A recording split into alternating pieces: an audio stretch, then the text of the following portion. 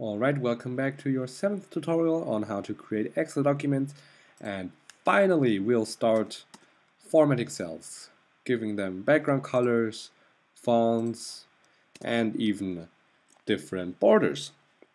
So for that we have to import, let's just import two things.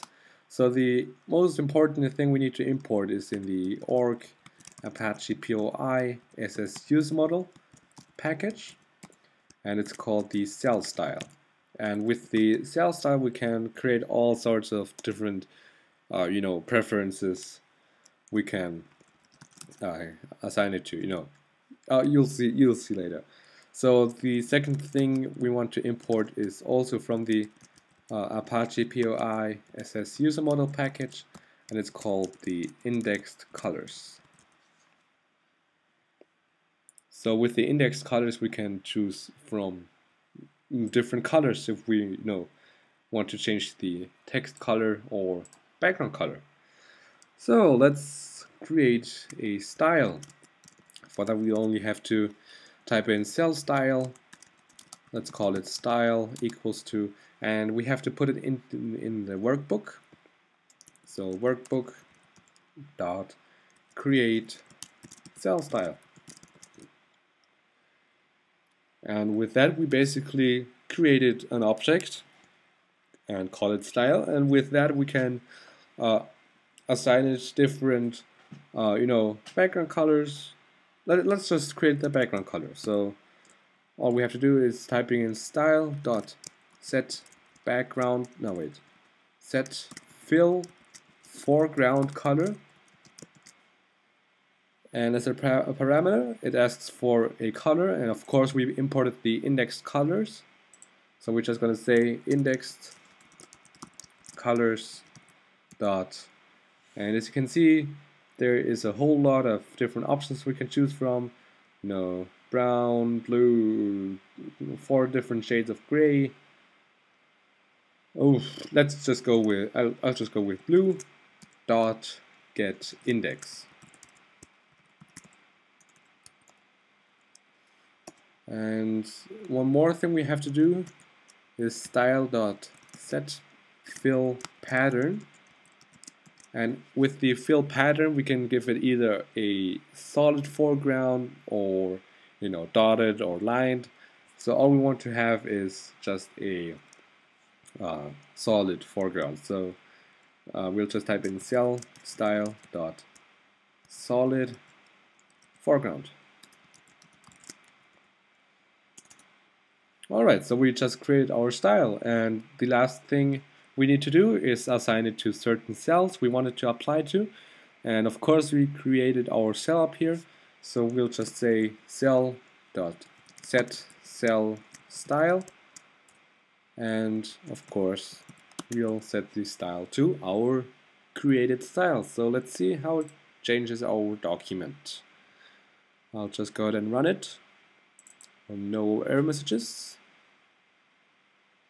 And as you can see we have we have a cell with a beautiful blue background color.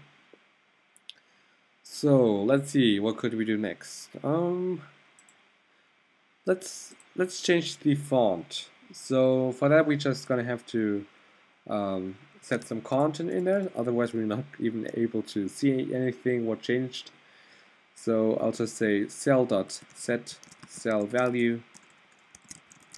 And let's set it to something like um, scrambled eggs. Alright so let's create a font. And for that we have to import something. And I bet you can guess in which package that is.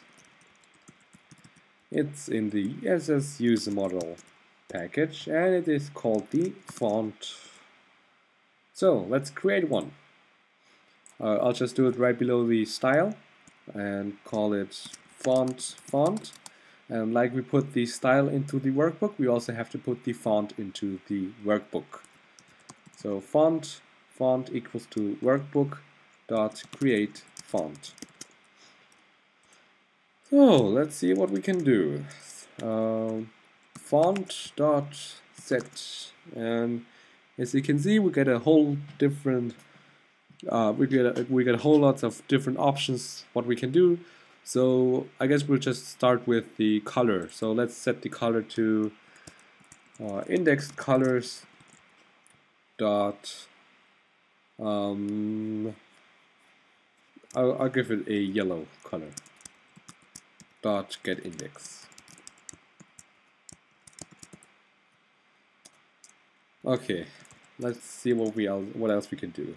Font dot set let's set the bold weight. So let's make it bold. Uh, for that we have to type in uh, as a parameter font dot and then we can either set it to bold or normal. Of course we want it bold. What else can we do? Font dot set. Uh, let's set it italic so now we have it bold and italic. Whew. what else? So font dot set. Let's make it a little bit bigger. So set font height in points which is basically the normal font height you would see in you know normal uh, Microsoft documents. And we have to cast the number to a, a short. And let's give it something like uh, 16 I'll just give it 16 okay what else? Font dot set. Oh let's set it underlined. Set underline. And let's set the underline to font dot. And then you can see it's uh, all the U double, U double accounting, U none, U single. So let's just set it to, let's, let's set it to double. So we get a double underlined font. Alright, one more thing, one more thing. What else can we do with the font? Okay, let's let's change the font name. So that's basically you know, if we wanted to, to set it to Arial, uh, Arial or uh, whatever we wanted to set uh, set it to. Um, let's give it. I actually don't know all these different font names. Uh, I'll just go ahead and use Times New Roman. Oh, well, actually I hate that font. I'll go ahead and use Helvetia. That's the only other one I just can think of.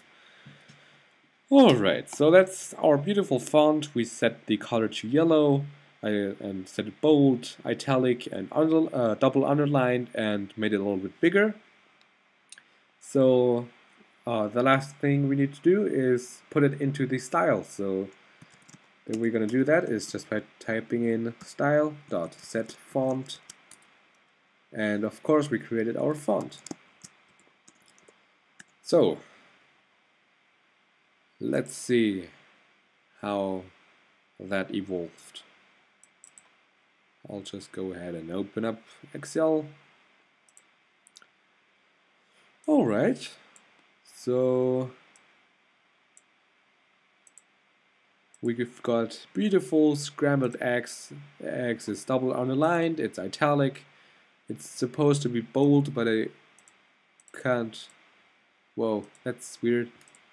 So it's bold if it's not bold. Ah, well, doesn't matter. So apparently it's bold and it's the font Helvetia. So, alright. Uh, let's see. Let's, last but not least, let, us just change the, uh, the border. So, that's, that's going to be, well, that's going to be easy as well. So I'll just do that right below the fill pattern uh, let's change the border. So the way we're going to do that is by just typing in style dot set border and as you can see it asks for border bottom, border left, right and top.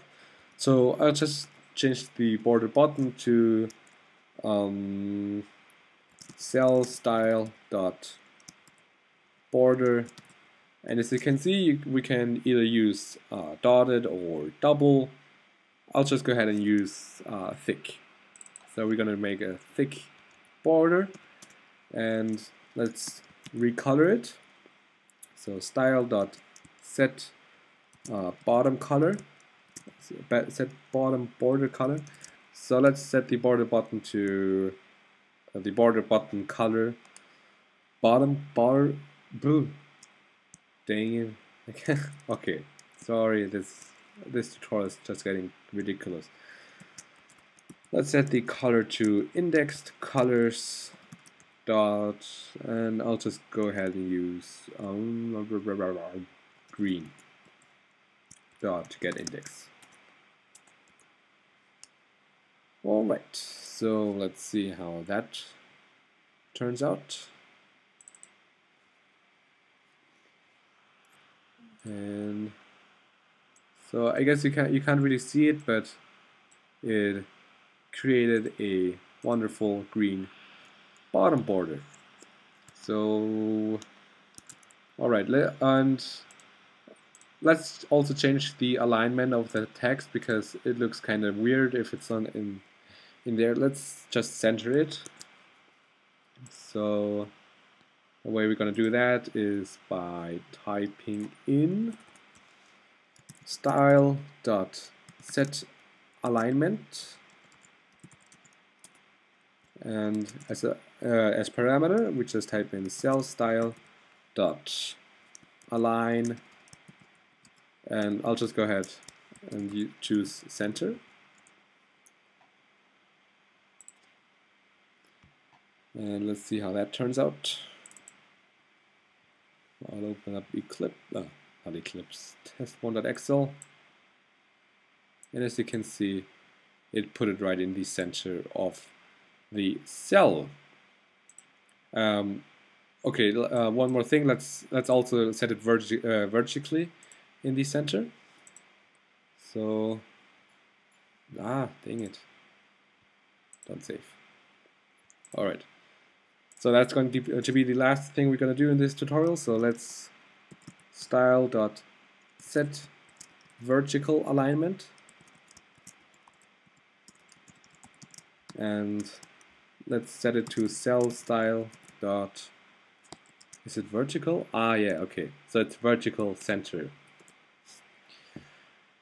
But I guess that's all to this video. So it's you know it's a lot about experimenting uh, between the different you know the different options you can make you know changing the background color. So basically what you learned in this tutorial is how to you know how to change background color how to change the font, how to change the borders and how to change the alignment of the text. So that's that was a actually pretty big tutorial.